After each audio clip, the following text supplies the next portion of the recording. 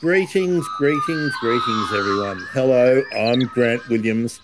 I'm the host of the Bird Emergency, and today we've got a special, a special edition of the Bird Emergency, which is doubling as an edition of Plants Grow Here. And we have a very knowledgeable bird nerd, Dr. Holly Parsons, here with us. But for those of you who don't know, the Bird Emergency is a show about rare, threatened, critically endangered, and coming up, we're even going to talk about an extinct bird. And it's about introducing you, the viewer, to the amazing programs and the hard work and the research, the people who do all of that work to try and ensure that we don't lose more birds. So that's the whole rationale behind the bird emergency. We're um 40 episodes in, episode 41 will be going out shortly after we conclude today's session. My new co-host for today, Dan Fuller, who is the host of Plants Grow Here. How are you, Dan? Thanks for good thanks, agreeing to do this. Tell us about yeah, Plants Grow Here and tell us about you. Sure. So I'm a horticulturist that's been a pro gardener for about nine years. I'm really interested in the science behind how plants work and how everything fits together in the ecology. Basically, our mission statement at Plants Grow here is that we are into horticulture, ecology, and landscape gardening, and we feature industry professionals, experts, and enthusiasts just help to teach our listeners about that. And it's good for us to have people from the enthusiast side where they really love it, but they may not um, be as scientific, but they can tell us about practical things. And then it's also great to have on the other scale, like, for example, like PhD scientists and stuff who are going to really take us through the nuts and bolts. So before we get in today, I just wanted to thank three people. I want to thank John Dengate, who wrote an excellent book called Attracting Birds to Your Garden in Australia. I want to thank Ben Sims, who's the other half of Plants Grow Here, who's a basically a native plant nut and who's taught me a lot about native gardening. And also Dr. John Martin from episodes 27 and 28 of our podcast, Plants Grow Here, who works with the Royal Botanic Gardens in Sydney on a project called Hollows as Homes. And he basically has a bunch of products, including big city birds. And yeah, Hollows as Homes is transitioning to become Wildlife Assist. So those are three people. Also, a lot of people on Twitter who we've been chatting with um, over the weekend have really added a lot. So big shout out to all of our Twitter friends and family. There's too many on there to basically thank. But yeah, cheers, guys and Dr. Holly Parsons, who is representing BirdLife Australia. Now, let's just be clear this is not a BirdLife Australia show. So let's just get that clear. But Holly is the manager of the Birds in Backyards program, which is technically called the Urban Birds program. Hello, Holly. Welcome aboard. Hi, Grant. Hi, Dan. Thanks for having me. I'm really excited. Yeah, so I run the Urban Bird Program for BirdLife Australia, which basically is all about the birds that live where people live. And so we have a range of projects within that umbrella that we run. The biggest of those is Birds in Backyards. And Birds in Backyards is a website and a project that has been running since, oh, it actually kicked off in 99. So we've been around for quite a while and we're all about sharing spaces with birds, what people can do to contribute to our knowledge of um, how birds are faring in urban spaces and how individuals can take action for birds in their own space to create a better, more balanced habitat. Now, Holly, I might just note for those um, who are joining us live I can see your eyeballs uh, on the screen. Thanks very much. If you want to participate, you just need to put a comment in and I will I'll get to it as soon as it fits what we're talking about. And if you have a particular example or a experience that you would like to share more generally in the birdemergency.com uh, splash page, which is still live, there is a button you can press to join the studio, and I can bring you in and we can, you know, get you in your face here and your voice to tell us more particularly. I would really love to know about the urban lyrebird nest that we've been seeing on on bird Twitter, which has been amazing. But anything else that comes up, we want to answer questions, but we do have a bit of a framework we're going to try and walk through, and hopefully we cover everything. And well, I don't think. Uh, look, I don't think we can cover everything. We're going to be going. We would be going for uh, hours and hours and hours and hours. But let me just throw back to Holly for a minute.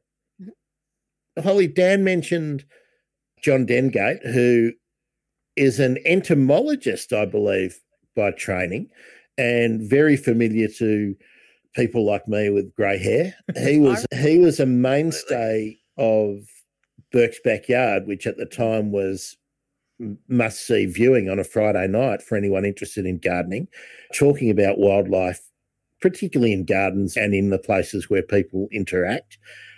But there was a book that predated that, that I was happy that you were familiar with it because it was something that was dear to me when I established um, wildlife friendly gardens. So, Holly, would you like to give that guy a shout out?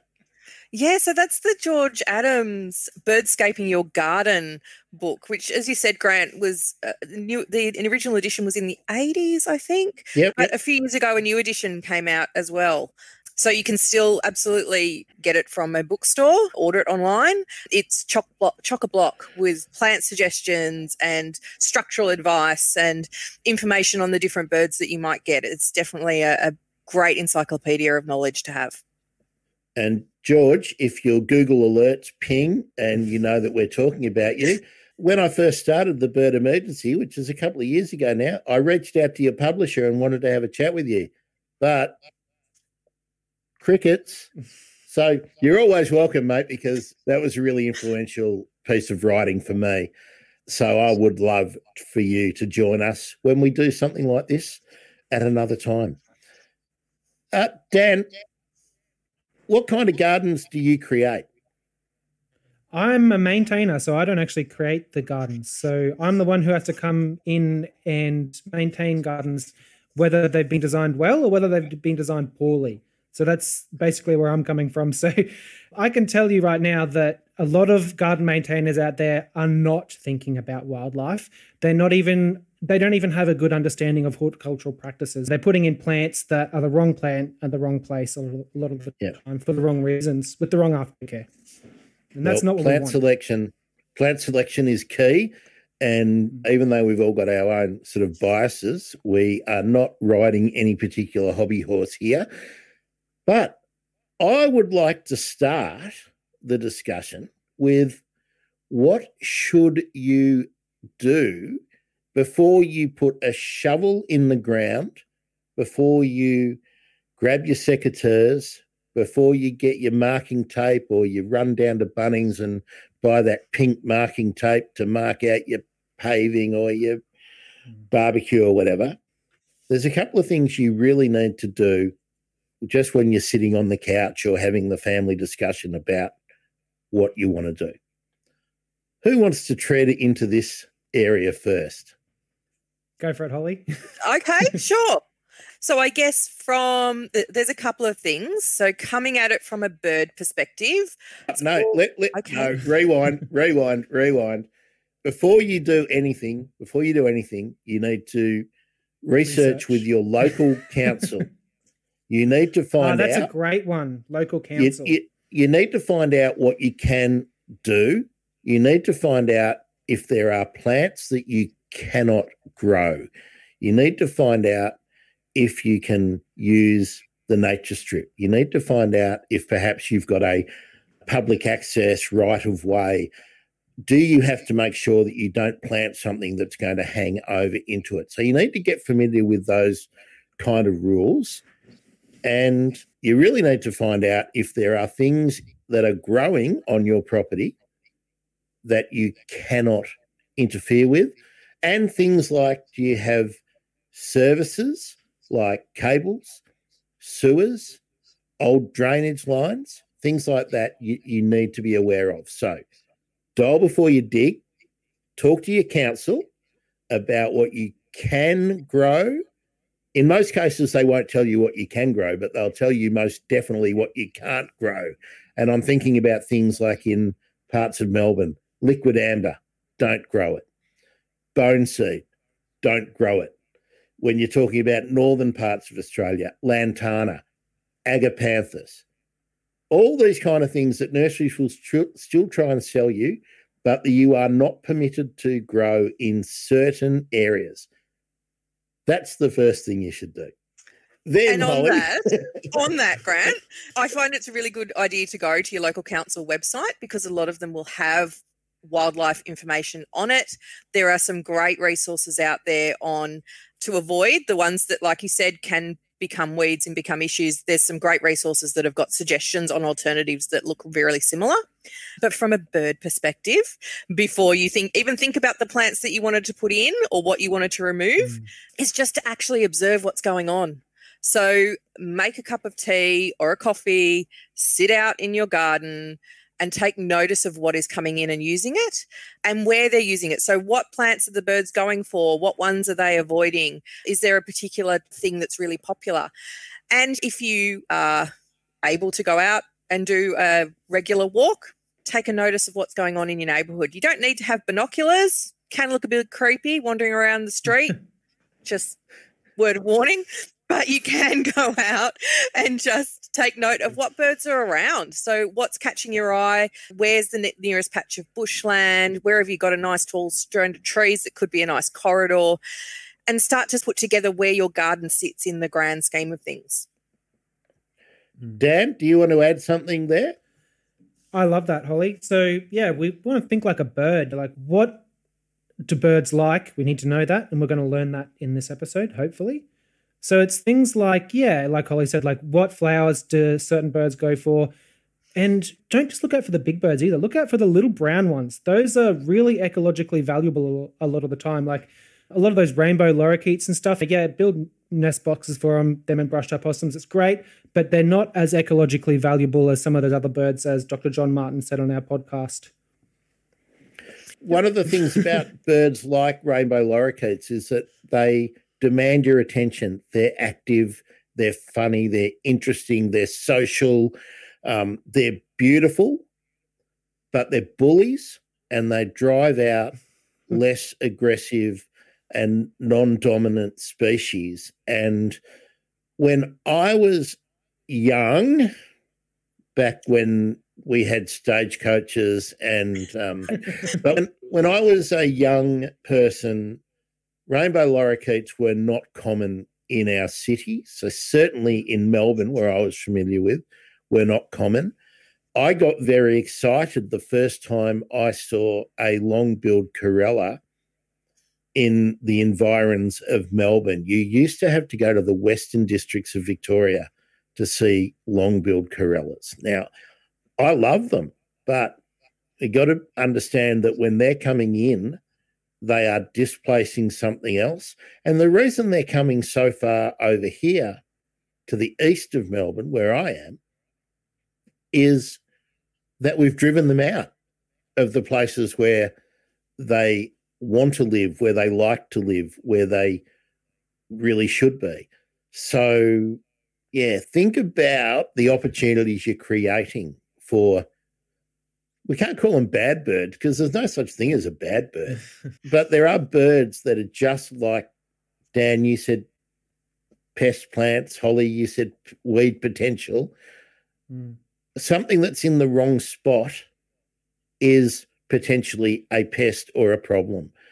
So, part of the challenge for any of us who are planting things in the ground is to create opportunities for the things that we want to join us in our our shared environment, but to discourage, to to keep out, if possible, with non-invasive and non-interventionist means, pest species. Who wants to take that right? Take the reins here and charge off. Yeah, I guess I like to call some of those birds. You could use hyper abundant they've discovered urban habitats, whether it is because they've intentionally, not intentionally, but because they've been pushed out of their more natural environments, or just that we've simply created fabulous places for them. So sulfur crested cockatoos, rainbow lorikeets are classic examples of those noisy miners where you've created a similar space to what they would naturally have found in, and then you've taken it up a level because you've put in lots of flowering plants or you've put in lots of things that they have just meant that they've been able to explode in number. So we certainly have in us in Australia, particularly along our coastal urban areas, a range of birds that are just doing phenomenally. They're fine. We don't need to put in another bottle brush to keep the rainbow lorikeets happy. They're happy anyway. There's plenty of them around. What we need to do is maximize the chances of getting some of these other birds in. And it tends to be, for the most part, the smaller native birds that tend to struggle in urban areas. They were once much more common in parks and gardens than they are now. And there's probably a few reasons for that. We're continuing to urbanize, we're expanding out, we're taking up much more natural habitat. There's less bushland patches or good quality bushland patches for them to be using. Our gardens are getting a lot smaller because we all tend to want bigger houses. The quarter acre block doesn't exist anymore where you could have a whole heap of sprawling things. Those gardens are a rarity. So we've gone to small block, uh, s- small blocks, big houses with very little room for the, for a garden, and mainstream. I think a lot of the garden design that certainly got pushed through the Mm. 90s and beyond has been drought tolerant plants and very streamlined and aesthetically straight. Yeah, that, and I think that- that that's created a problem as well. Yeah. I, I want to really stop there for a second. That's been one of the biggest problems. When that period you were talking about, Holly, was all the go, Paul Bangay, Jamie Durie, Japanese style gardens that had nothing to do with Japanese design. I was working for Yates and for Bunnings at different times. And what we were pushing were simplistic, minimalist kind of landscapes. The front yard with a path, with a box hedge or something like that, or a row of lomandra or something similar, but spaced out so they were easy to maintain. That was the big thing, but offered no value to birds, let alone frogs or lizards or any other form of wildlife. So we've moved away from that in in one part of the industry, but the housing industry, and Dan, this is where you see it all the time as a landscape maintenance guy, that segment of our industry, because it and they all interlock, has not caught up with it, and it costs money to maintain habitat and nobody wants to spend any money.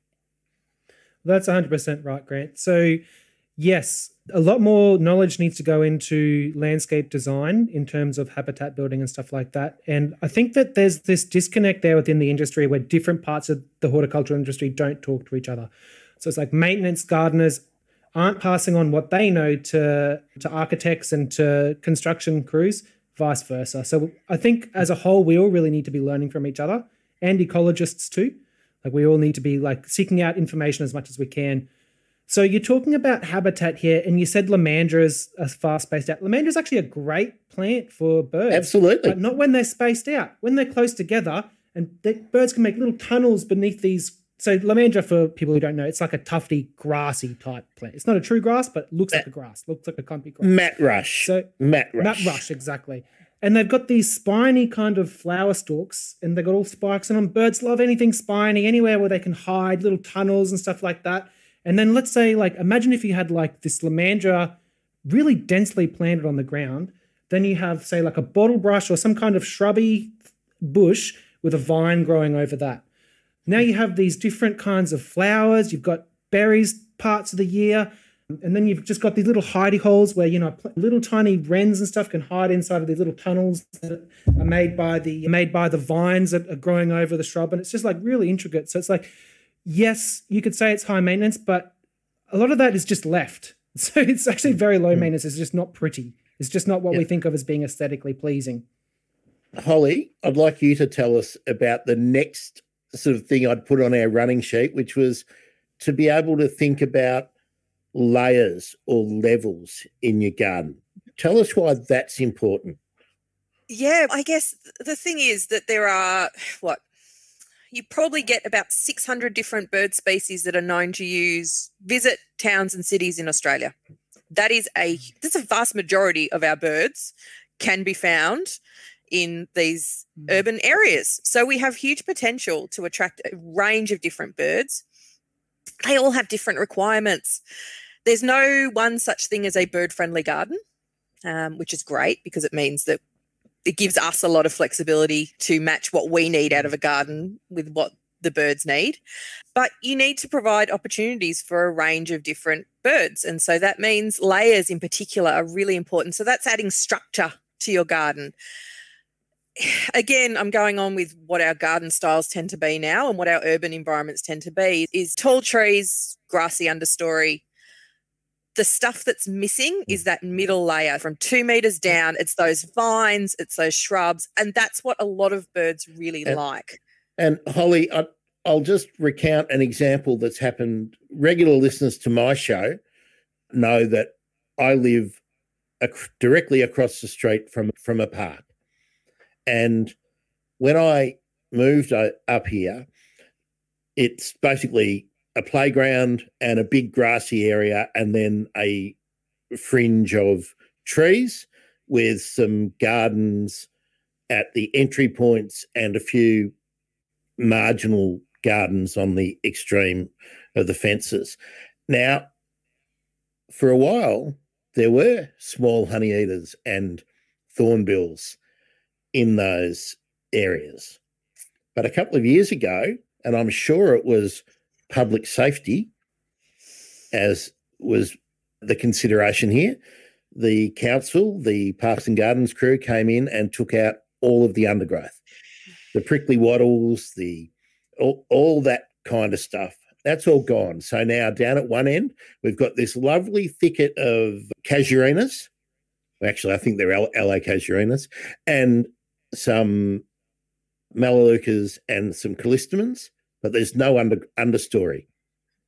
Beautifully mulched, but the only birds I ever see in there are pigeons and the magpies. And everywhere else they were taken out. So now the park is only a haven for a couple of pigeons. We've got crested pigeons, we've got the the, the introduced spotted turtle dove, Indian ringneck, whatever you want to call it.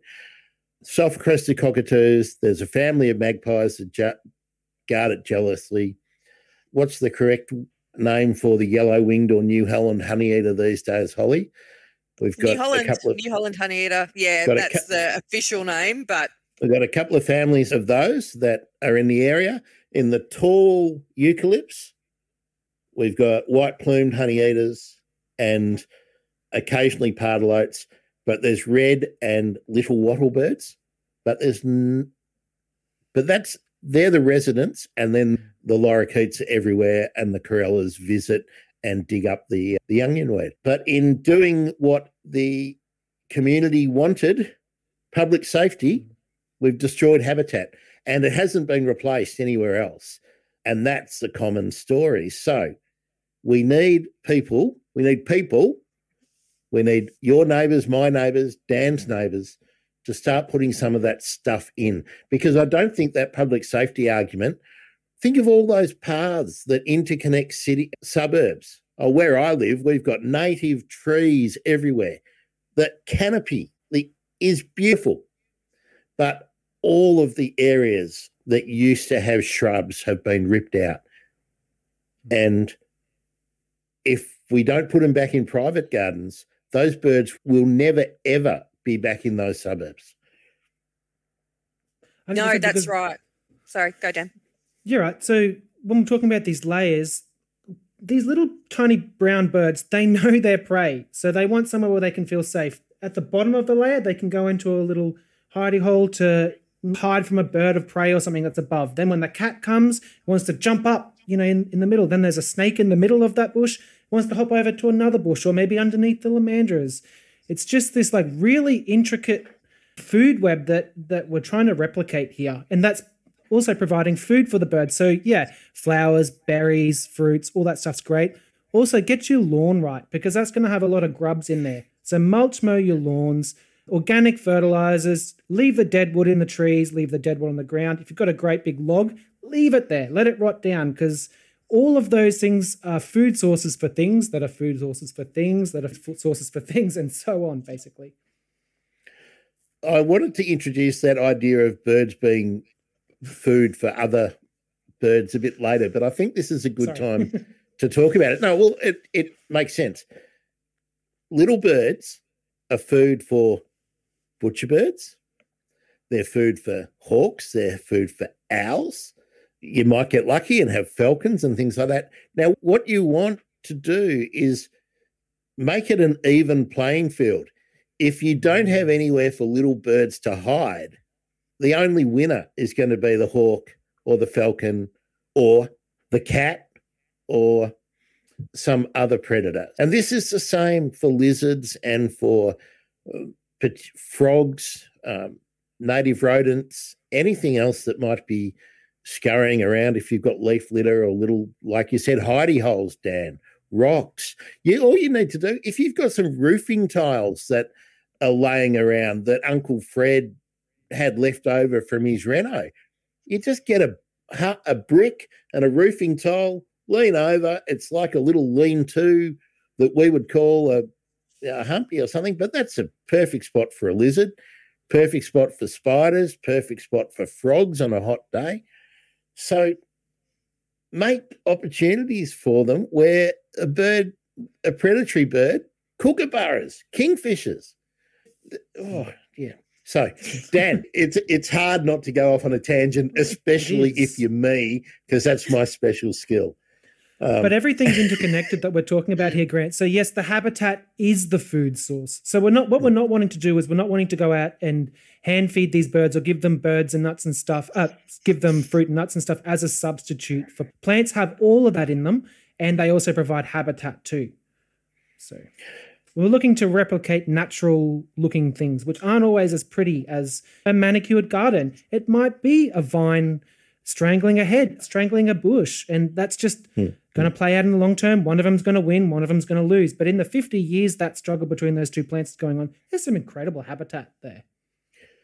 let's just extend out the layers bit for a minute about why it's so important. And Holly, I'll throw it up there that if we had suburbs where every one of our gardens had a big tree and that we all weren't so intent on pruning along a fence line and that you had a big eucalypt that just almost touched into the next eucalypt and the callistemon or the melaleuca or the camellia, what, whatever, the big rhododendron were leaning over and touching another plant.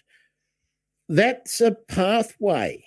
It's the highway that animals and birds use. Now, we need to really think about having those things in our built environment. What Yeah, absolutely. Sorry.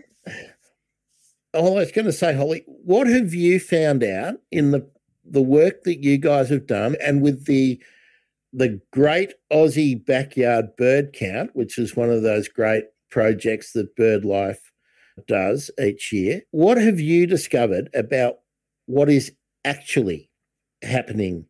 Because we're all talking anecdotes. What's actually happening in our suburbs with the birds that we hmm. are familiar with? So I, I guess as I said before, the so the Aussie backyard bird count has been running for I think six years now. I think this might be the seventh year this year, coming up in October. So that's our once a year census of how birds are going, where we ask anybody to grab an app and go and count birds for 20 minutes and tell us what they've got. Every year, the top birds are noise, rainbow lorikeets, and I think magpies are number two. The top 10 list doesn't change a lot. They're the big urban winners. I'll throw into the mix that we also run birds in backyards surveys, which confuses things because there's the app a That's bit on the green. really- So, in, in conjunction with that once a year count, we also have another survey which is open year round and we tend to promote seasonally where we ask people to record what they've got visiting them in terms of the birds, but also what their habitat's like. So we ask people to do a simple little questionnaire which says, My garden is mostly natives, mostly exotics. I have a lot of trees or no trees, a little bit of lawn. I feed birds, I do X, Y, and Z. And so we've been able to take that data and really look at what habitat preferences different birds have. So we find things like New Holland honeyeaters, like you mentioned before, fairy wrens, silver eyes. We tend to find them in gardens where the plants are mostly native and where we have more than 50% shrub cover. So they're really going to that nice, dense thicket type garden. That's where you tend to get them. On the other hand, where that gets a little bit more confusing if you're looking at individual species that you want to attract, fairy wrens, so superb fairy wrens, my favorite bird, really like those gardens, but they also like a lot of open lawn space. Okay, so we need a garden for those birds that's got a lot of lawn and a lot of shrubs because they're coming out and doing their feeding and ducking into the shrubs for protection.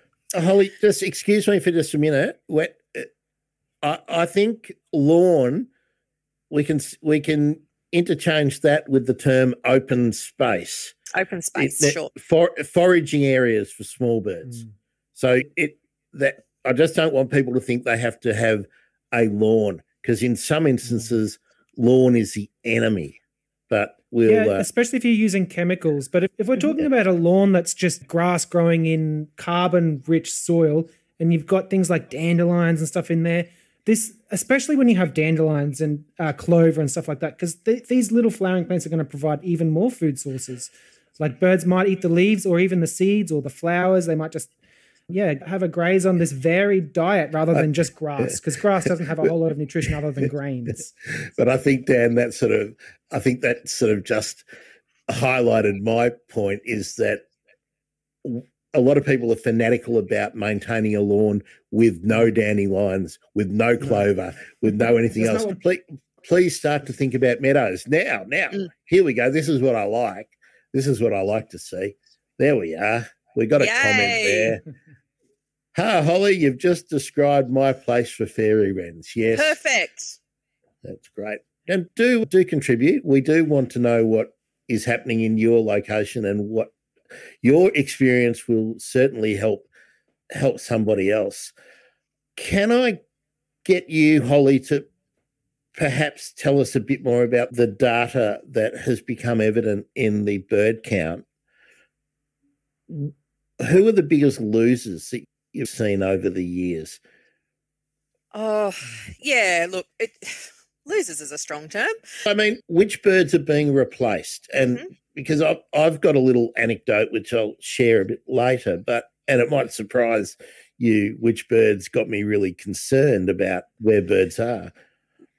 Okay, look, it, I mean, I guess it depends on the, the threat that, that you can try and reverse. So different birds are, are being threatened by different by different things. But we tend to find the birds that don't do as well in urban areas tend to be smaller natives, generally insect eaters or seed eaters. Some of the smaller honey eaters as well, like your white cheeked honey eaters, white plumed honey eaters as well, scarlet honey eaters. White Um, nape is what I've really noticed is missing in my part of Melbourne. Yep. So it tends to be if you're doing really well, if you are bigger, more aggressive, more flexible in your diet, you can eat lots of different things, then you've got a, a smorgasbord in an urban space. But if you are fussier with your diet, if you tend to be smaller, more cryptic, shyer, then you tend to struggle against some of those bigger, bolder personalities that are taking over urban spaces. And then if you're towing big birds, it can be really hard for a lot of birds of prey. You've got Mm. Butcherbirds, currawongs, meat eaters doing okay, but a lot of those bigger birds of prey are actually generally quite sensitive. They don't like human development, they don't like being around people, so they find it really challenging. When you're talking owls, of course, you're looking at loss of hollows. Unfortunately, big old trees tend to be one of the first things to go um, in urban spaces, and we can talk a little bit about that later, I'm sure. But you know, owls can find it quite challenging a lot of the time. So there's a whole range of ways we make it really difficult for birds to live with us. But there are things that you can do in your own space, and it's really about creating that good habitat to bring them back. Dan, I know you'll want to talk about hollows uh, later, and I certainly do too. But let's put that aside for a minute.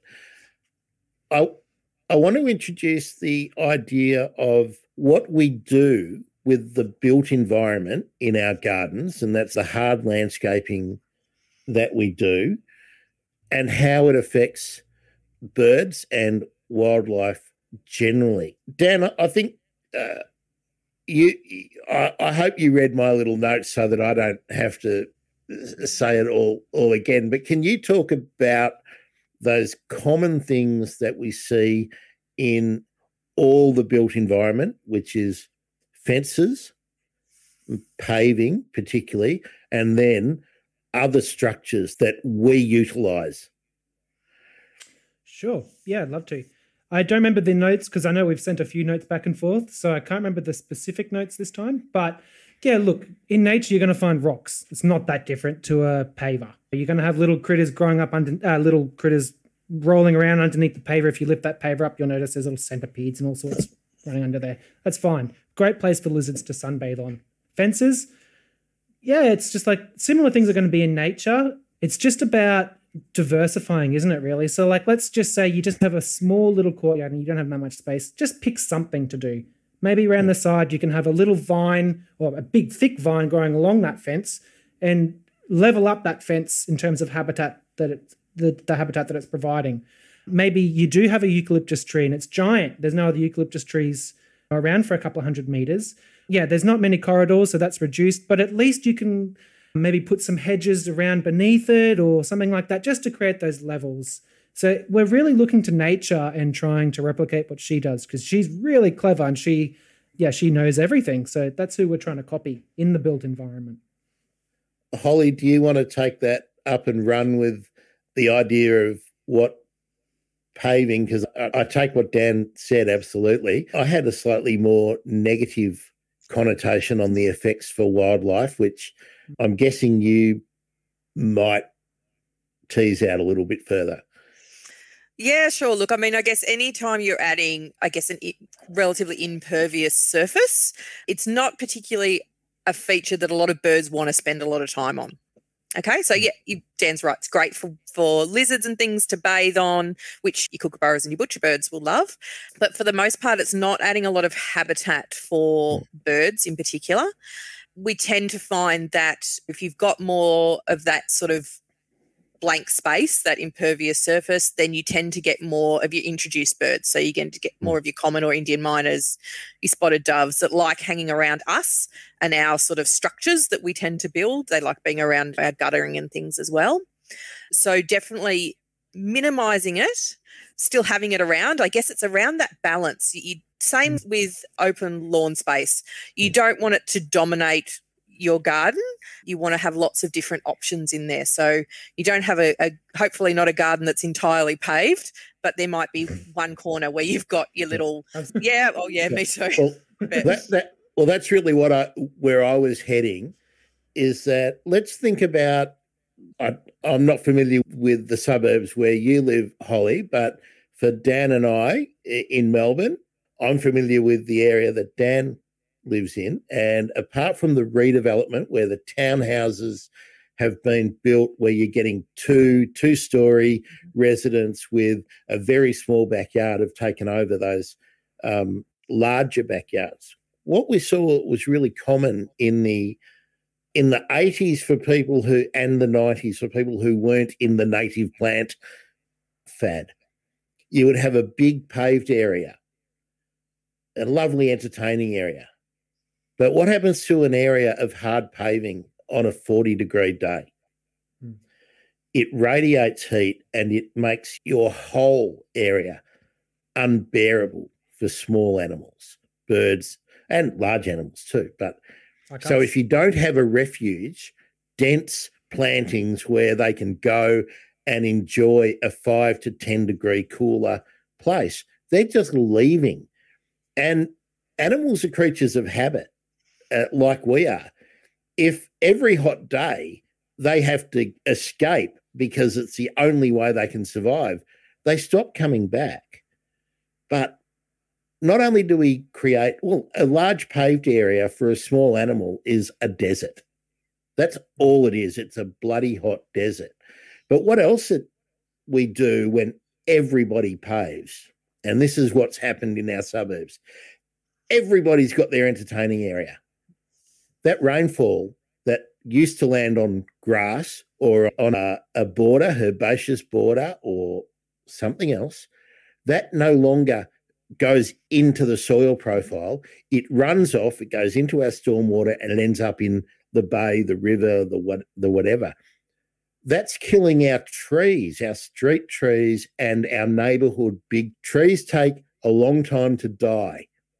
The trees that are being cleared in your suburbs or your cities now because they are dangerous because they're dying, they died from heat stress 10 to five years ago, and they're only being cut down now. But this is what the effect of our urban environment is, and which is why I'm so passionate about what we're talking about today. Uh, can I just Sure. interject one term there?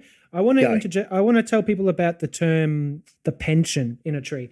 So if a tree, let's just say a tree's there, and you cut a bit out um, of the soil there to put a driveway in or something like that, and the tree looks fine for three, five, ten years, it's actually not fine. What you've done is you've actually robbed all of this energy for, that's stored in the tree's tissues, in its xylem, uh, in its phloem, in its sugar tissues, and um, so not only that, but you've also reduced the plant's ability to uptake nutrients with um, the removal of those, those roots.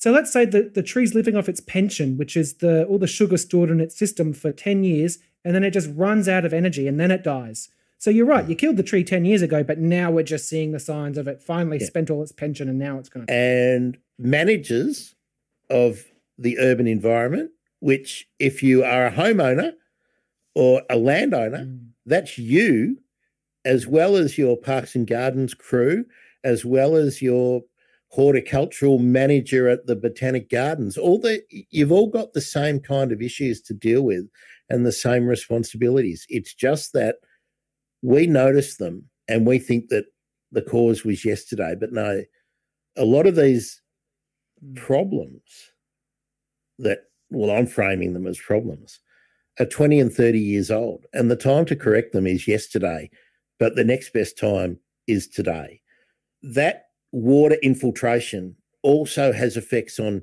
your paving your foundations your footpath your roads. So try if you can if you do not need the beautiful flat even paving if you can remove every second paver so that water can infiltrate.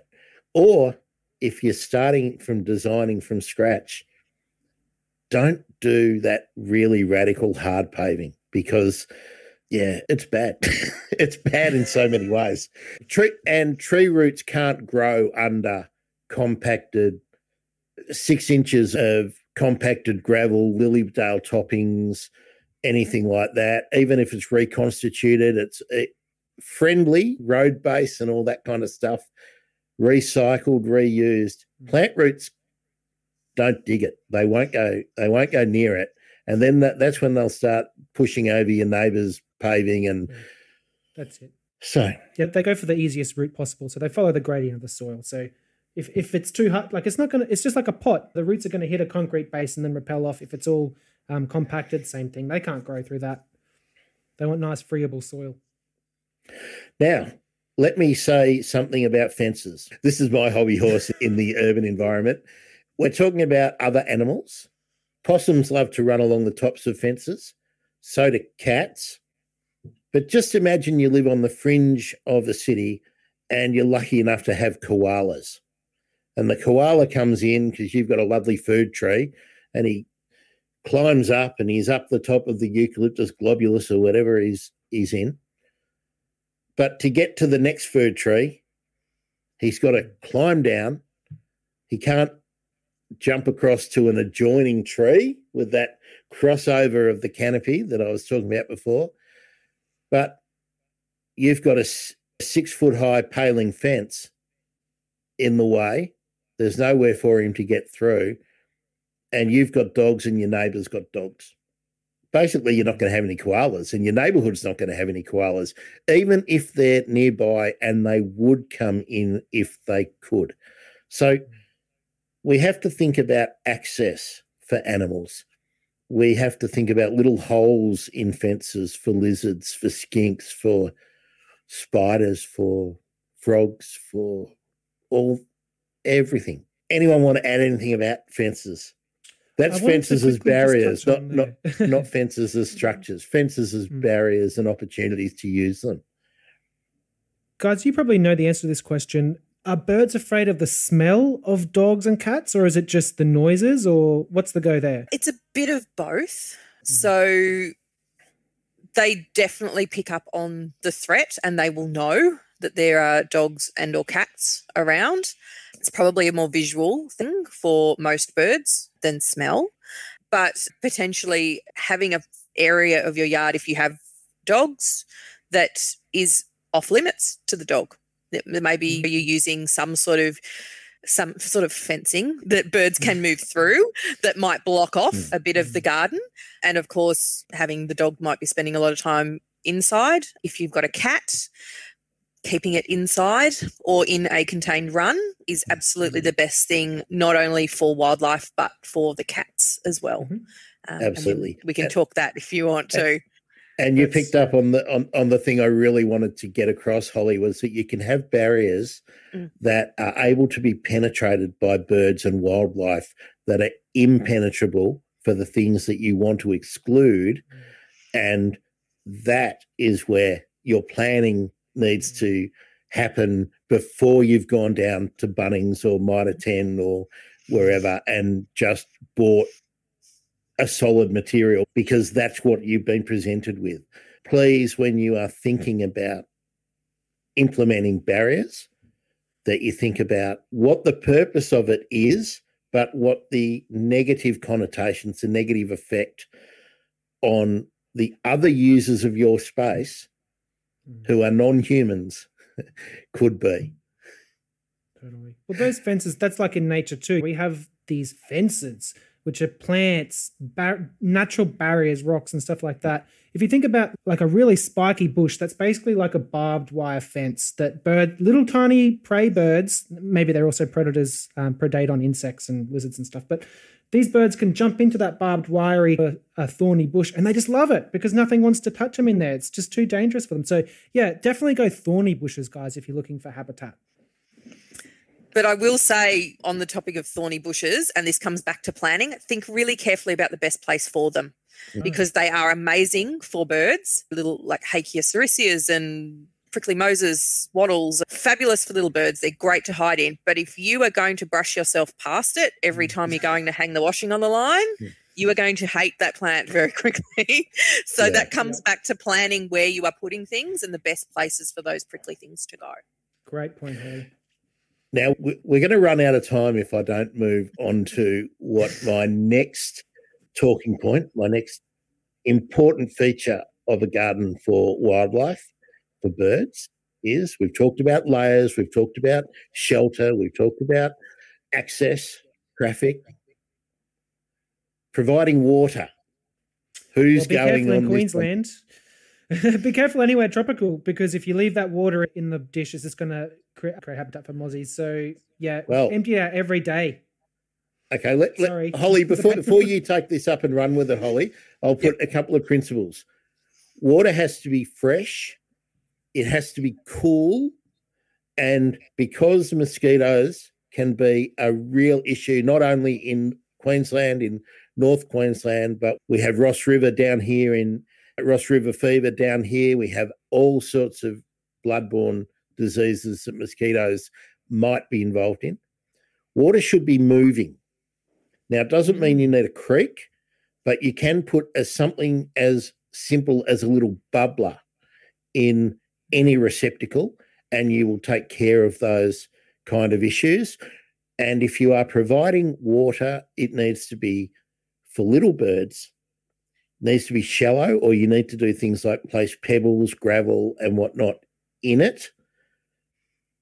The other thing, Holly, is you need to make sure that it's a place where it doesn't open up the opportunities for predators, for your kookaburras, for your butcher birds, for your even your shrikes, grey shrike, thrush, apart from the birds of prey. So maybe ha- try and have something overhanging, put it somewhere where the they're not visually apparent from above. Over to you, Dr. Parsons. I don't need to. You've just said it all. so you're right, Grant. So water is a fabulous way to attract birds to your garden, and I can, with 95% certainty, say if you put a bird bath in, you will get birds using it. But there are those things that you need to be careful of. So making sure that the water is clean and fresh, because birds are bathing in it and drinking in it, and it can get pretty disgusting pretty quickly. We don't want to be spreading disease amongst a bird population that are all coming Yes. in to use that water. Beak and Or other wildlife that are coming in. is- Beak and feather disease is very prominent in our Yes. cockatoos and our rosellas, our lorikeets. Of course, there is an episode of the Bird Emergency with Dr. Johanna Martins about that. Holly, So, sorry, go. will birds regularly visit places where there are no access, where there is no access to water? It depends on the bird. Yes, because birds are not only coming to your garden just for water. It will depend which of the items on their list that you can tick off for them. So, water is a, a really great way to get them there. But if you have great shelter, if you have really good food resources, if it's a great insect life, or you've got some great flowering plants, then they will still visit you. Absolutely, because they are searching around your neighborhood to meet up all those resources. But if you're you've got water, if it's nice and fresh, making sure you can either aerate it, as you said, or tip it out quite easily onto the garden and fill it back up again. You shouldn't need to use any chemicals and things if it's if you're replacing it daily or every second day. But thinking about really carefully about where you put your bath as well. If you've got a pedestal bath, you go down to the local hardware shop. There tends to be the ones that you that you can get. If you've got a pedestal and it's out in the middle of your garden, and there is nothing around it, then you are going to have rainbow lorikeets and magpies and things coming and using it, but you're not going to be helping the little guys that are shyer that that want to feel safe in order to use a bird bath. So if you put that, or even if you don't have any dogs and cats and things in the yard, a plant saucer on the ground. That's as simple as you need to go. And you can just scrape out, you can just scrape out a couple of inches, three, four centimeter depression, throw some plastic in it, and then throw some gravel over the plastic and put some mulch around the edge of it. As long as that water is regularly there, that's all you need. Absolutely. I put in a pond and it was just a, a kiddie wading pool that we weren't using anymore. Yep. Dug it out, put it in, mulched around the outside. It's amazing. Was it Um, one of those beautiful hard, ha half shells? Uh, it was not. It wasn't no? the little no the little mermaid statue on the side or something. No, but if you're putting that, um, you want to make sure if you're wanting to attract smaller birds and and the, those shyer species, you want to make sure that it's not smack bang in the middle of shrubs because you don't want them to be attacked by a cat that's just going to dart out and grab them when they're bathing because it's a very vulnerable state for But birds. Holly, that would never happen because all the responsible owners in the area would have their cat contained. Exactly, exactly. So you're going to want just a little bit of distance from the shrubs. It doesn't have to be much, but where there is an escape route. And so if you get the opportunity to watch birds as they're bathing, it's not as creepy as it sounds. You will see that they will start, they'll, they'll have like one might be a little bit of a lookout and will sit on a branch and make sure everything is safe while the others splash around. Or if they are coming in by themselves, they'll dart in and out really quickly and they'll be looking around they need an escape route. So they need a branch that they can fly up to quickly. They need a dense shrub where they can make a getaway if something comes along and disturbs them. Now, just before we move on, here's someone from Facebook who I don't think we've had any contact with on Twitter. Hello, Naomi. Thanks for joining us. I have a small pond, concrete in the ground. How do I keep it clean? Ooh, if it's, and I know Naomi. Naomi's from our Birds in Backyards Facebook group.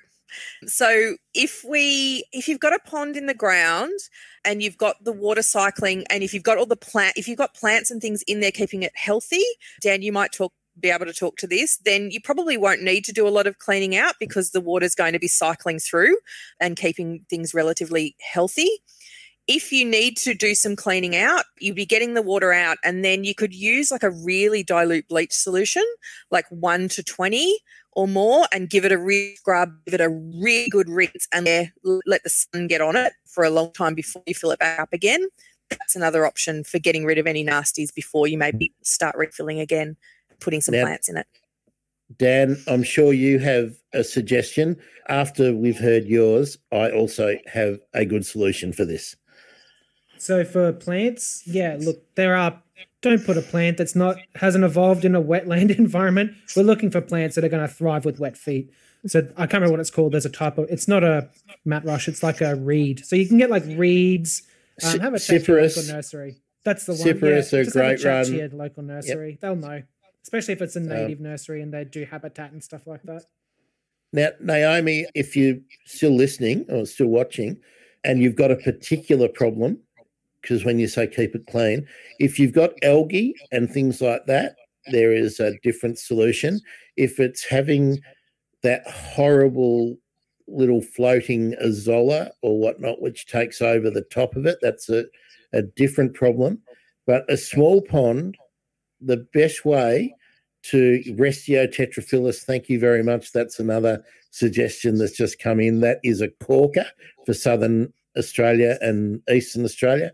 Sorry, Naomi, uh, you you need to have a balanced environment in your pond. So those ribbon, ribbony kind of aquatic plants are important, and you can pick them up from most nurseries nowadays.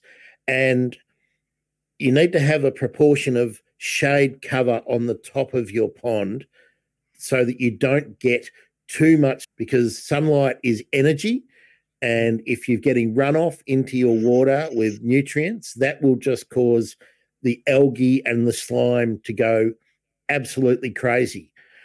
Also, if you have things like lilies, and you can get native lilies as well as the larger, more extravagant water lilies, that will keep the temperature in the water constant and cool, which means a lot of these problems don't happen.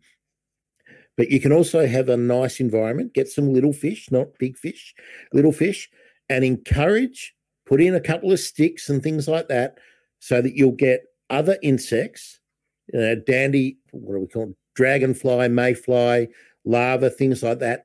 But you also want snails if you've got water snails, that will eat the slime off the edges of your pond. So if your pond is always getting dirty, unclean, it's not healthy. So you need to actually insert life to the pond and think about those kind of things. Water is just like the built environment we've been talking about. It needs shade, it needs movement. You don't want to over fertilize it Mm. So have a yeah, good look well, at your pond. Yeah.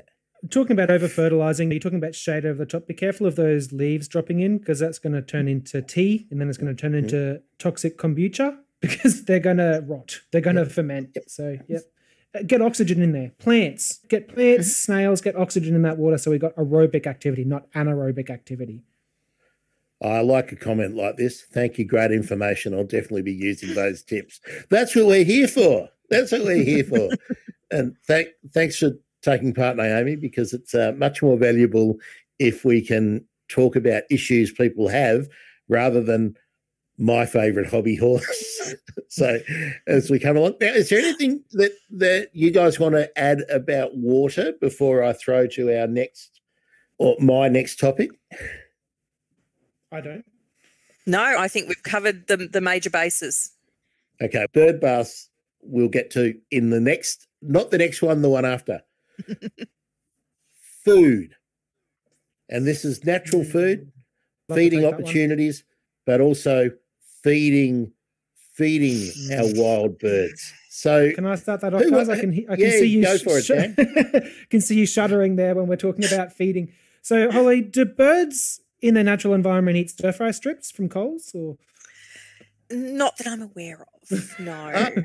Uh, well, not in the natural environment.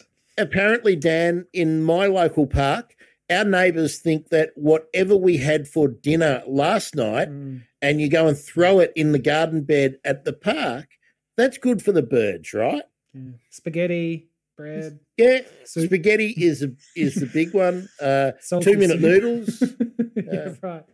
No, predatory are- birds are eating whole foods, just like us. We like whole foods, right? So they're eating lizards with the gizzards, the lungs, skin, toenails, everything. They might throw up a bit of, um, you might see hair in their poop because they can't digest that or whatever. But the it's whole foods. We're not looking for, yeah, they're they're not going down to Coles and buying stir fry strips. So let's think about feeding all different types of birds. We've got nectivorous birds that love nectar. So we're talking about big tubular flowers, especially if they're red, because apparently birds can see red really well. These are things like your callistemons, your proteaceae members, like myrtaceae members like callistemons. Basically, big flowers that you see nectar birds shoving their beaks in and, and sucking the juices out. Then you've also Dad? got, go mate. just want to in- interject just one thing. Yeah. The most popular grevillea I had growing in both the nursery that I had and my home that adjoined a state park was Grevillea shiressii, which has green and dark flowers, nothing to look at, but the birds went mental over it. Shade loving Grevillea as well. So it's one of those good ones for a difficult position. Temperate, temperate Australia right up to subtropical Australia. Hmm. Take it away, Well, it's a bit Fuller. different. Well, it's a bit different. So you got your um, Grevillea Robin Gordons. So like everyone loves them, and it's a great plant. It's beautiful. But Dr. John Martin in our episode, I can't remember if it was twenty-seven or twenty-eight. He mentions like these are sugar buffets. They don't really exist in nature. They've been cultivated and bred for human values. So it's like, yeah, of course we want to look at beautiful Robin Gordon flowers, beautiful Grevillea Robin Gordon flowers every day of our lives. And the birds want to suck all the sugar out of it, but it's not necessarily the best for them. In nature, you'll find one plant is flowering, another one is throwing out seeds, and then at another part of the season, it's just like not doing anything. It's just habitats. Yeah, and think about all the different types of foods you can provide. We're thinking about nectar flowers for birds. We're thinking about dead wood to create spaces for grubs and stuff like that for predatory birds. Then we're also thinking about seeds and stuff like that. So the wider variety you have of different opportunities for these birds to graze on, the better off you're going to be. And let's try and get them as close to nature as possible. Let's go locally endemic plants where we can, even if they're not, they don't flower for as long as uh, the Grevillea Robin Gordon. That's great. This is what birds actually need. Holly, Yeah. feeding feeding birds. I guess on the the grevilleas, the hybrid grevilleas and the robin gordons and things, absolutely beautiful looking plants. Like Dan said, don't really replicate what goes on naturally. And so I'd particularly emphasize if you've got noisy miners, so the native honey eater, if you've got rainbow lorikeets around, I would suggest not putting in nectar producing plants because that will just suck those guys in. They are bullies and they will not give any other things a chance to come and visit your garden. So instead of going for those rich hybrid rich nectar producing things go for smaller flowering grevilleas we've talked about some of them today they're beautiful I, I think it's i actually think it's more that people don't get exposed to what Mm. a lot of these plants look like so they don't know they're out there to choose them There's another reason why too, and that is if you go to your local nursery, of which there are very few nowadays, Mhm. that's what's in stock. Mm. Yes That's So- so if, if you don't know if you don't But- know what's but- out there you, Yeah. if you But can't we- get a hold of it it makes it hard to put it in the ground But before we finish up, we'll talk more about plant availability and selection. But Holly, where, where I was going from, feel free to criticize me for my disgusting base human habit. I regularly go across to the park and broadcast a wild bird mix Mhm. and encourage the birds that are here. I I know that a lot of people say you should not feed wild birds. Mhm. And I'm going to also mention a few things that I think you should not do. But in my defense as a as a bird feeding criminal, Mhm. I don't put it out I don't put it out every day. I don't put it out in the same spot and I don't put it out in the same density. so that the birds, be they introduced birds or the native birds, can't form the habit that breakfast or lunch is going to be there regularly all the time. They must go and forage elsewhere. So, bird feeding could be a whole nother podcast. Guys. Well, maybe it will be, guys. Yep. So uh, you're right. We know that we tend to feed the birds that are doing really well anyway. And by feeding, I mean intentionally going and putting out seed, meat, yes. yep. nectar mixes, In- fruit um, interventionist, opportunist, yeah. uh, opportunistic feeding that would not be available on plants by plants yes. or other things like like beetles and bugs and and then if yeah. you move away you're not feeding anymore and that disrupts that, the whole thing too yeah that's so, that's the key point about not doing it regularly all the time the mm. same way birds will in, depend on it that's a bit of a myth actually Interestingly, Good. there's actually not a lot of evidence that birds become dependent on people, despite mm. the puppy dog eyes they may give. And sometimes, if it's the cockatoos and things, the destructive behavior that might happen afterwards. Um, birds don't tend to become dependent on us for food. They will still go and forage naturally. Mm. They won't starve if you stop feeding them. But we don't want to get to that point. So it's about if you are going to feed birds, in an urban environment, there's really no need to. It's more something for us. But that connection that, to nature is really important. And, yeah, and I'm not dismissing that. It. That's why I've got a funny story too at the end here. Okay. So establishing that connection to nature is great. We need people to care. And feeding birds is one way that, that people can care, but we want to make sure we do it responsibly. So mm-hmm. if you are going to do it, it's about doing it infrequently. So it's not something that where you get 50 cockatoos showing up expecting their breakfast because it becomes a problem for your neighbors as well. It's it, it then mm-hmm. can create yeah. some animosity there. That you're feeding appropriate foods, so you are not feeding sugar and water. If avoiding mince is really sticky, yeah. And again that whole it's not a whole food. So if you are going to do some stir fry strips, coat it in some calcium powder or something so that it's a little bit more nutritious. Alternatively, dog food is, is one of the better options for meat eaters. But thinking about the consequences of eating eating meat, but yes, go for it. Sorry, Holly. I I had a beautiful suggestion from Dr. Claire Greenwell, who listeners to my show will know as Australia's fairy tern expert. When we were talking about this in on Twitter a month or two back, we uh, we will we talked about feeding magpies and butcher birds and things like that. I suggested mealworms, growing mealworms and things like that as a former child horticulturist. Um, Claire said bloodworms, and I researched it. They're commercially available. Claire gave me a link, and I'm happy to share that out with anyone who contacts me and asks for it. But bloodworms have all those kind of things, Dan, skeletons, exoskeletons, gizzards, all the good stuff that they're eating. So they're a whole food for birds like magpies and butcher birds, currawongs and whatnot that will come in. Even blackbirds, grey shrike, thrush, the mm. black-faced cuckoo, shrikes, kookaburras, all those kind of things. Sorry for introducing interrupting Holly, but I thought that we would never get back here. And I wanted to give people the opportunity to chase me up for that because that was a great suggestion from Claire. Solves all of the problems of providing protein to those insectivorous and carnivorous birds that visit us. So thanks, Claire. That's a great one.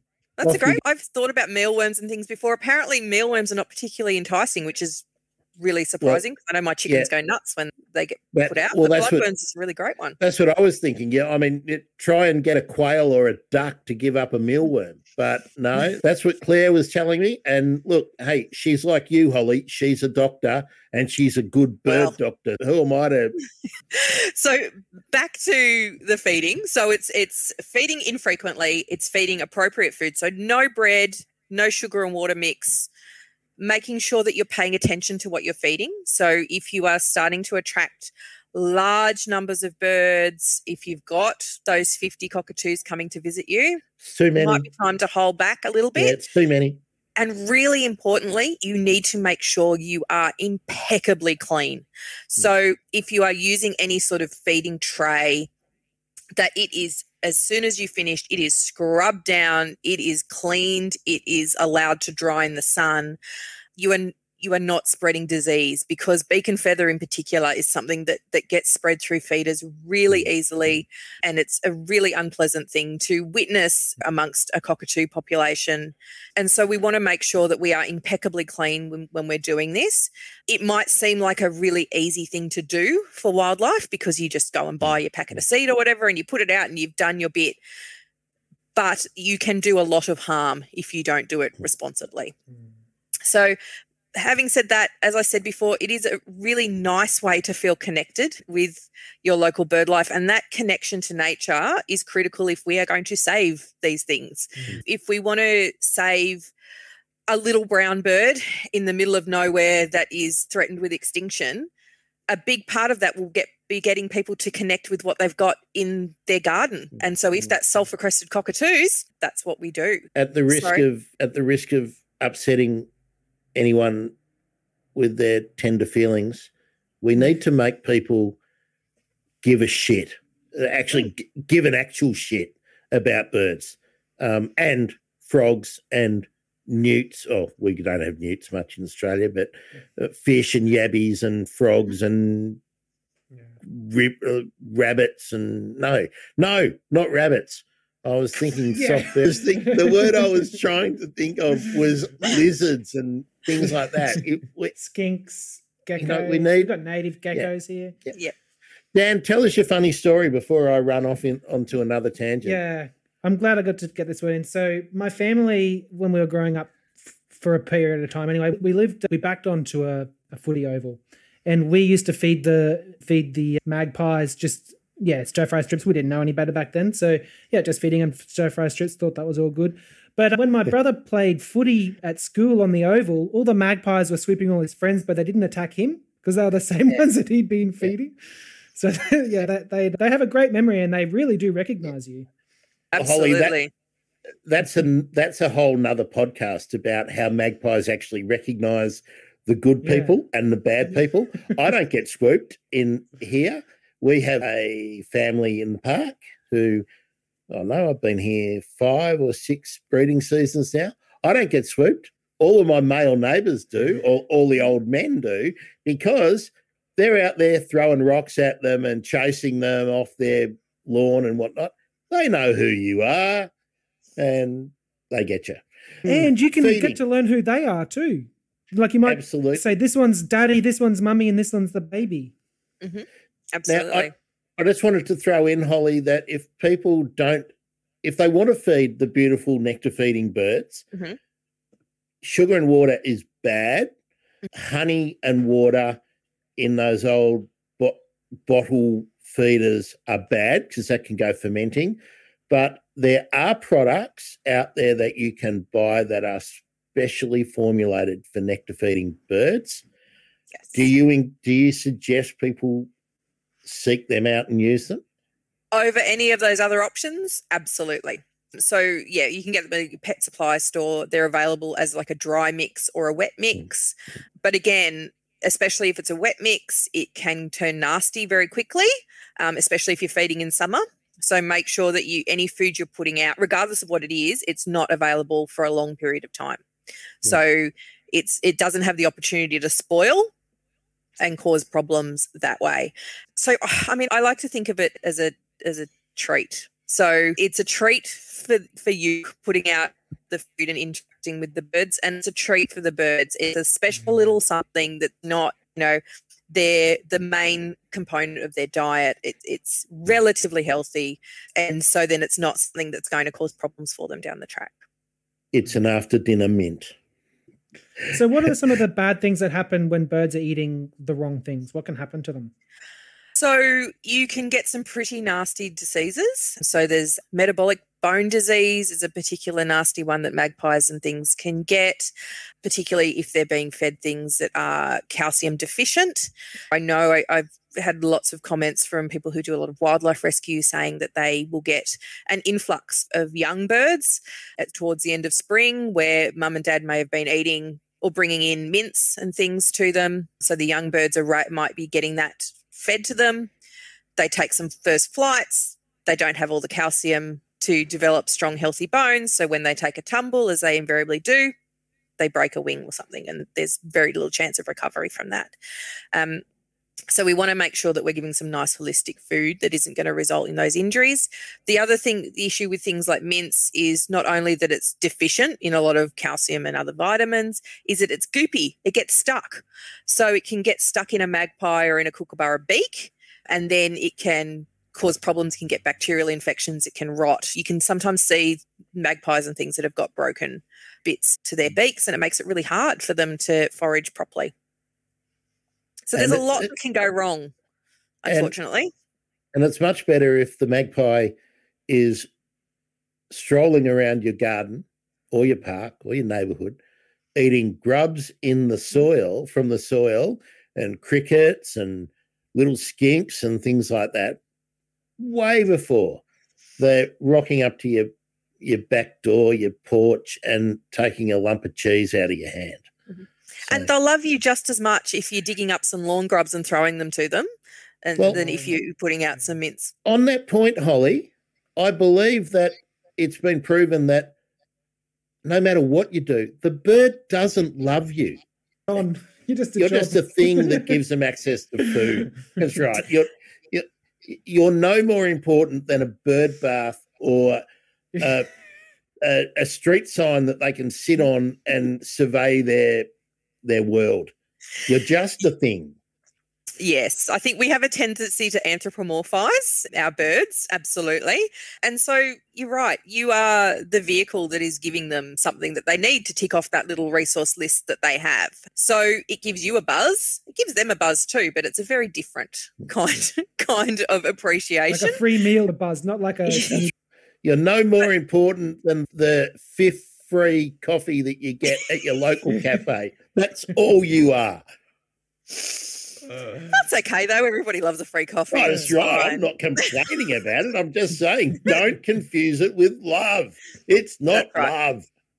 But it is. It gives us a good sense of um, accomplishment and that connection, which is good for the birds because they're getting those resources that they need and it's keeping them happy. But it's good for us too connection with mm. nature is good for us in conservation to conserve things that people are maybe quite disconnected from because it gets people involved, it gets funding, it gets people taking action. But it's important for individuals as well. And there's great research now coming out about how that connection with nature, getting out in the garden or in the urban environment or in the local park, has huge benefits for our mental health, for our physical health. We can be selfish by creating a bird friendly garden for them. And I just want to clarify I love birds, I love plants, but they don't love me. All right. Now, it can I, be a bit one sided. We can love them. I, am watching the time and I'm uh, mindful of how long we've been going with useful information, Holly and Dan, and droning on from me. But I, I want to. I, I want to put you both on the spot. I want to leave plant selection because that's a massive topic. Yeah and perhaps uh, bordering on design issues. I want to leave that for the next time we do that. And I'm certainly going to be doing it again. Hopefully, you're both going to join me. Yep. The last thing that I want to put on the agenda for today is the issue of shelter. And if we can talk about shelter for protection, we've talked about temperature a bit briefly. But then we've got things like roosting and we've got breeding. And Dan, you can go for your life on hollows here. Yeah. Holly, what are the kinds of shelter that different kinds of birds need and will use in our backyards? Oof, big question. Again, it depends on the bird as to what sort of place in the garden they want to be. So, for something like your little fairy wrens, They are foraging out on the grass for food. That's where they are doing their, their hunting of insects, is out on open space. But that shelter is a shrub. So it is a shrub layer that they are going to that is nice and dense and where they can hide. A lot of other birds, particularly your bigger birds, are needing the shelter of a tree canopy. It's cooler, it keeps them protection from anything overhead. It gets them up off the ground and away from predators. And so we know from from things like our birds in backyards surveys where we look at those habitat features is that some birds interestingly like it was magpie larks, yellow-tailed black cockatoos and king parrots either liked gardens with lots of lawn and next to no trees or almost no lawn and lots of tree cover. Mm. And that's because, in the case of all that tree cover, that's the roosting environment that they're looking for. They're coming down Mm. into gardens that have got open lawn space to feed, and then nicking off into the tall branches to get a bit of um, shelter and a, and a bit of time to sit, digest, chat with the rest of their flock, have a bit of reinforce reinforce their social bonds. Exactly. And Holly, a lot about fairy wrens. When I interviewed Ettore for my podcast, and we talked about the complex social nature of fairy wrens, I found out they all roost together. So they actually need like a long, comparatively long branch where a dozen or 20 of them can actually all huddle up together at night. Yeah, absolutely. I, I I didn't realize. I thought they'd maybe would utilize an old nest or something like that, but they don't. They need that. They need that open Mm. branch, but it's got to be protected. So it's got to be in a shelter belt or a un, some dense shrubs. Our favourites, Dan, the hydrangea, something like you know something Yes, dense and impenetrable from the outside. Holly, what what about things that where do where do things like lorikeets and cockatoos roost? So lorikeets, cockatoos, a big, again, it's that big flock. So you'll often find that multiple flocks will come together to a single or multiple trees at night. For rainbow lorikeets in particular, I believe they're, they're often attracted to locations where there's lots of artificial light at night. So you'll get them around train stations, at mm-hmm. least in my neighbourhood. That's where they Yep. tend to come together to roost at night. Norfolk Island pines on Yep. I've seen them in northern Australia just stripping those things, the araucarias, stripping them of all the foliage, and starlings do it too. Oh, Come in and Yep. Yeah, in common mynas as well. They all come in from all over, multiple suburbs. They all converge to a few roost trees, and that's where they hang out for the night. And that's where they probably pass messages as to where the good food Mm. was, as to where different resources are available. They all come together because there's safety in numbers at night, and then and it's very noisy and can be very messy. And Mm. then the next day, they all go their separate ways again. Dan, Tree hollows. hollows, hollows. Yes, very important. So in Australia, we don't have woodpeckers. In other continents, you have a woodpecker that makes a hollow. In Australia, basically, a lot of our most of our tree hollows are created through fungal rot. So you'll have a branch that dies over long periods of time. It rots down, and it's funny how a branch connects to a tree. It's basically like one branch is connected to another to the mother branch. Basically, not very well at all. Like it's amazing how trees can actually keep the branches in it has a, a shoulder there. It's called a branch collar. And Branch- branch bark ridge, all of that. Yeah, branch collar. So it's attached in. And then when this branch here rots out, it'll fall out. And then where it connects in, it'll basically rot into the tree and create a hollow. So you'll get cockatoos coming in and pulling out the, the rotten bits to make that hollow bigger. And so, yeah, these hollows take a really long time to, to make in nature. Like they say around about 100 years, even though that can vary a lot on the circumstances, the species of the tree, what sort of damage it's been under, etc. So obviously, if a tree's been attacked by lightning 10 years ago, that's really going to fast track how much habitat that tree can have. Yeah, but in horticulture, the advice is generally to go around and cut out any of the dead wood. You don't want dead wood because it rots into the tree. Yeah, 100% true. It is going to damage that tree, but that damage is what creates habitat for Mm. for these yeah net, tree nesting birds and other things so whether it's just a, a tiny little five cent piece opening of a hole or whether it's a giant thing that a human being can step inside of down the bottom of the uh, just on the trunk of the tree all of these different size habitats are really important for plants uh, for, for, For plant- habitat And they're not important for ins- plants they're not good for plants no, for insects, for mammals, for birds, for all the little invertebrates and whatnot, and that, of course, provide food. Now we we uh, we can probably talk about hollows as a whole separate session. I've got my next episode of the Bird Emergency is about lyrebirds and the Albert lyrebird, after that, I have a two-part series where we're talking with Mick Callan from Habitat Habitat Oh, Australia cool. about his recent work and their fantastic, fantastic work on hollows. So don't miss that. And then following that up with Leigh-Ann Woolley and her work on Gouldian finches, who are very, very picky about what kind of hollow will constitute a breeding opportunity for them. And of course, Leigh-Ann is with WWF in northern Western Australia. She knows what she's talking about. Uh, Well, i'll be tuning into that one that'll be excellent before we wrap up, we've can i just say two got- more things before we wrap up Mate, you can say you. a lot of things. I just want to say to the people who are watching, because we do have eyeballs um, watching us, which is great. And thanks for sticking with us all the way.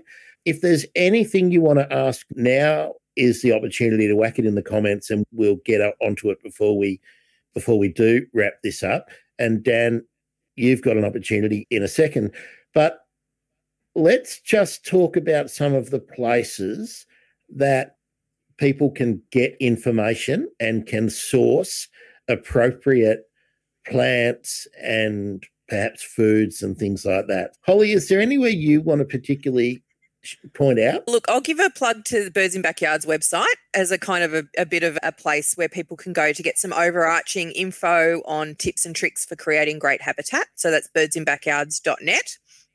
You can also join in and do some citizen science surveys and things with us. It's all on there. For specific local information, I would always encourage people to check out what their local council has got going on. So go to your local council website. There will be an environment section. Some of them are amazing, some of them maybe not so much. They will let you know where there are some locally native nurseries around you because that's a great source. We didn't really talk about it today of locally native plants, of often cheaper plants to put in the ground. Because if you're wanting to Mm. create a bird friendly garden, you're usually going to need a lot of plants and it can get expensive. so, anywhere you can get some cheaper plants is great. And the added bonus being they're going to be great for wildlife as well. So check out your local council and see what programs they're offering as well. So sometimes they will have um, programs that are specifically about coming to your garden and giving you some advice. It might be where your nursery is. My local council at the moment is running a street tree program where I can actually and have done requested a street tree, got to pick one that is perfectly positioned and the exact right type that I want that is also going to attract wildlife and not grow to a height which is going to be an issue. So that's a great initiative that's being run um, through my council. Lots of councils will have similar sort of things. So it's worth scoping out locally and seeing what's there. If there's nothing there, contact your council and say you want these sort of biodiversity programs. You want to go about creating habitat and you want to know that's an important issue for you because until we tell them that's something that we want, they may not provide it for us. So you need to make some noise and let them know. Yeah, look, all three of us here today in this chat have got some great resources. So obviously, I'm going to be pointing people to the Bird Emergency podcast. Check that out. I'm also going to be sending people to BirdLife Australia, the website there. Make sure you guys checking that out. Also, check out the Plants Grow Here website. We focus a lot more on gardening, but ecology is a huge part of what we do. Yeah, you're going to learn about plants on here. We've got a couple of episodes that I particularly point you to, which was 27 hab- trees as habitat and also 28 wildlife assist and also episode 3 native gardening a lot of that information has been talked about in here but yeah you'll get a lot more as well i also mentioned at the start john dengate's book attracting birds to your garden in australia so that'll keep you guys busy so Hmm. that should uh, Now- keep you yeah quite busy We were talking about. We've just got another another message in here, which I'll just put up on the screen. Uh, these days, I struggle to get good tube stock, things like Hakea nodosa or Tasmanian species. Now, that's a perfect segue to what I was just about to say. Because I did once run a a nursery that was basically all about native wildlife habitat and indige stuff. And in a previous life, I was also a land care coordinator for a regional area. I have in the bowels of my computers, uh, I think it's actually in my Google Drive, a lot of these contacts. And I also have a timetable of things like Banksias and Grevilleas and Melaleucas mm-hmm. and Callistemons that flower all year and seed bearing plants that flower all year. So you can actually have a calendar of opportunity for your garden. Now, I'm happy to provide those to anyone. The way to get it is to email me, grant at thebirdemergency.com, or if you're not an email person, but you're a Twitter person, at Bird Emergency. Follow me. I generally follow back. If I if I don't, give me a nudge and DM me. Give me your details, and I'll make those things available to you. I've got to be honest. I've got 40 episodes of the Bird Emergency to get uh, done on the website, which is happening this week. So I won't get PDFs up on the website for that yet, but they will be coming. Have you considered putting thing, an RSS feed? You can just get you can just pull. Yeah, you can I, get a little I, player and pull it. Yeah, I, I, I, no, I've got my episodes on there. No, no, no, no. Yeah. Um, what? Uh, look, I don't want to make it all about me, but it's all about me at the moment. yeah, yeah. That, that that that that's enough about me. What do you think about yeah. me? I think isn't that the line? my website. I run out of time to get things done, but I'm going through now, just putting all the links. Not only do I put the episodes up, but Uh, for the people who have moved on, the guests who are now doing other things, I'm updating and mm. putting their publications in and all that. That all takes time so that you will get more than listening to the podcast on on the site, which cool. because it's all about helping people find other people. That's what it's all about. What I would say is, oh, look, we've got another great comment before I get in here. This is useful. Flowering gardening is Mount Annan's. Oh, yeah, Dr. Judy McLeod's fragrant native gardens. That's a beauty. Let me add to that, actually, is Gwen Elliot with her all of her container gardening and small gardening books. You can still find them. So that's Gwen Elliot and Rodger Elliot. If you search Rodger Elliot, and actually, I'll, on the uh, when I eventually get this page done. I'll put all these up on there. But don't forget your local land care groups, your friends of, like in Melbourne, we've got Merri Creek, and then you've got all the little local grasslands and things like that. But every area has friends of groups. Mm-hmm. Field nats, look up the field naturalists. There's so many places to get good information. Look it out. And of course, get involved. Citizen science, get involved. And one birds, last naturalist. Yes, one last resource if you are wanting to grow plants, Nindethana Seed Services, I think they are just Nindethana, N I N D E T H A N A. If you Google that, you'll find them. They're in Western Australia. They do mail order of small quantities and specific provenances and all those kind of things that we're talking about. In conjunction with my calendars for all the different kind of popular genera that I did, you can source plants very easily if you're only wanting to grow one, two, three, or four any extras if you're doing seeds, give them to your neighbours. That's a great opportunity for them to just grow them, give them it, give them something in a six inch pot and say, here we are. Ah, yes, but some of us are totally crap at growing from seed. Yes, that's true. But you can reach out to people like Dan and I who know how to do it. So, yeah. A little bit. Definitely. All right. We've had plenty of comments, only a couple of questions, but that hopefully will be different next time. thanks to everyone who's been watching and contributing. That makes it that makes us know that if we did more than two days promotion, we'll probably get we'll probably get a lot more people. Can I spill the beans about like we I think we're agreed we're going to do this again. Can I, I'll spill the beans about someone I'm really excited who has agreed to speak to us in the future. The most magnificent built landscape architect. No, he's not a landscape architect. Landscape construction dude based in Melbourne. Philip Johnson. Go on Philip Johnson Landscapes and see what you can do with water in any kind of environment. Phil, we're going to work out a date, but we're going to talk to Phil. That's going to be amazing. Mm.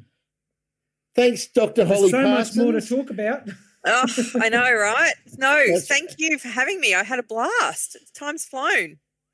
Birdlife.org.au if you can't remember anything else, or Google birds in backyards. Thank you, Margaret. For thank you. All have enjoyed. Yes, we've enjoyed doing it. Thanks for thanks for finding your way here because we look we really did this. We did this in a hurry, a spur of the moment idea. I'm glad we did. Thanks, Tess. Join us next time, Tess, Margaret, SD, SD Ruth. I don't know whether that's Ruth or whether it's Struth. Uh, Struth. We'll get to know you better. That was uh, a large co- contributor to our Twitter conversation. Dan Fuller, host or co-host, but you're generally the host, host, because because Ben's always pretty busy. Dan Fuller, yeah. Plants Grow He's the business podcast. Manager. I can tell you the the second truth. Oh, hang on, Ruth. I don't look. Correct Truth. me, Ruth. Uh, Struth, truth, truth. the truth. I don't know. Thanks again, Naomi. That's uh, very. She's just said fabulous talk. Really enjoyed it. We enjoyed doing it. You can find me oh, so many places, but Twitter is where I tend to interact when I'm not actually recording podcasts at Bird Emergency, hashtag Bird Twitter, hashtag Twitter Nature Community, hashtag Wild Oz. These are all great places to find kindred spirits. I'm Grant Williams. That's Dr. Holly Parsons. He's Thanks, Daniel Fuller. Thanks for being with us. Thanks, guys. And don't be afraid to muck it up either.